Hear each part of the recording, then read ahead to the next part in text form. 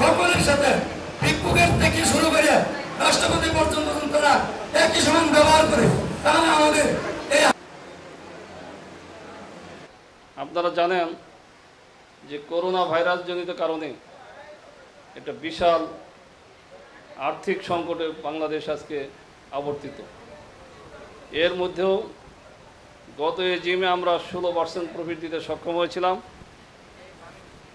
Evergreen life general হাসপাতাল limited কর্তৃক আয়োজিত পঞ্চম বার্ষিক সাধারণ সভার সম্মানিত সভাপতি, অত্র হাসপাতালের সুযোগ্য চেয়ারম্যান, জনাব অধ্যাপক হারুন রশিদ।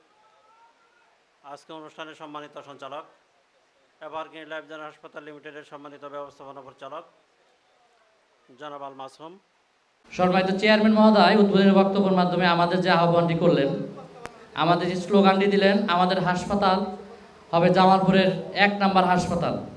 আসলে এই বিষয়টি সম্মানিত চেয়ারম্যান মহোদয়ের একা অথবা আমাদের পরিচালকবৃন্দর একা এই কাজটি করা সম্ভব না। জায়গা কিনে নিজস্ব ভবন নির্মাণ করা জামালপুরে একটি প্রতিষ্ঠানও আজ পর্যন্ত সেটা সম্ভব হয় নাই। এটা আমরা সকলেই অবগত। আলহামদুলিল্লাহ।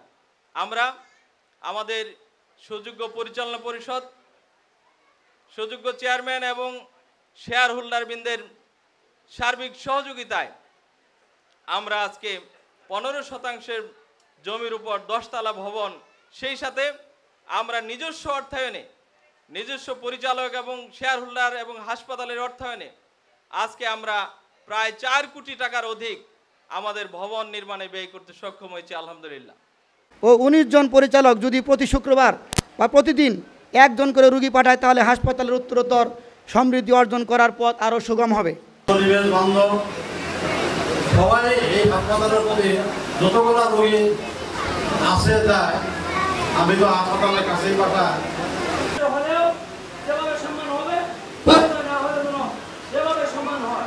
কারণ উমর আদি আমরা যদি চেষ্টা করি দুই হাজার বাইশ সাল আসসালামু আলাইকুম রহমতুল্লাহ আমাদের কাছে ফেরত না হয় এটা আমাদের অনুরোধ থাকল। আরেকটা তার সাথে পারি। এমন কোনো মাস নাই যে একটা দুইটা তিনটা রুগী না পাঠায় সেটা করব। এটা আশা। আর সেটা সংক্ষিপ্ত একদম সংক্ষিপ্ত বলেন।